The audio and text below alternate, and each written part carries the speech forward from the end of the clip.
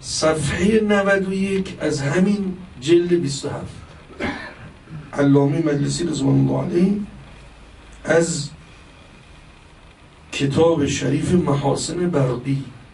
اونجا نقل می‌کنه. محاسن برقی کلمه اساس از آقا امام صادق علیه السلام که فرمود لکل شیء اساس. برای هر چیزی اساس هست شما هر چیزی که این شیء مطلق چه در بحث مادیات یک ساختمان محکم می‌خوای بسازی اساس مهم. پل می‌خوای بسازی اساس پل مهم. پل رو دریا یا رو خشکی. ضد زلزله یک ساختمان رو مقاوم سازی کنی یا بسازی اساس مهم. پی مهم. این اصله. اگر یک ساختمانی به اساس لطمه وارد نشود اون ساختمان پابرجا میمونه.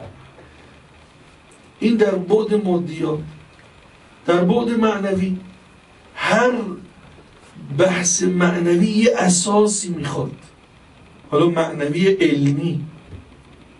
مثلا می‌خواد یه علمی رو یاد بگیره. اون علم یه اساسیاتی داره. اون اساسیات یا اولیات چیزایی که در اون علم باید یاد بگیری مثلا تو ریاضی مثلا عملهای چارگانه ریاضی رو میگن اساس ریاضی. یا مثلا در علوم مختلف حتی علومی که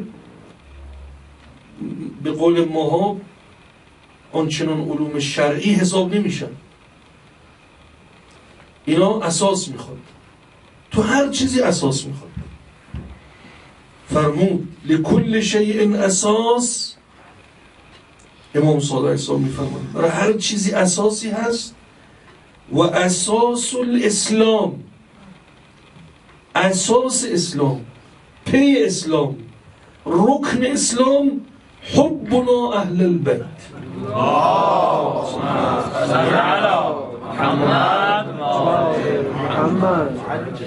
محبت ما أهل بیت علیه السلام اساس اسلام.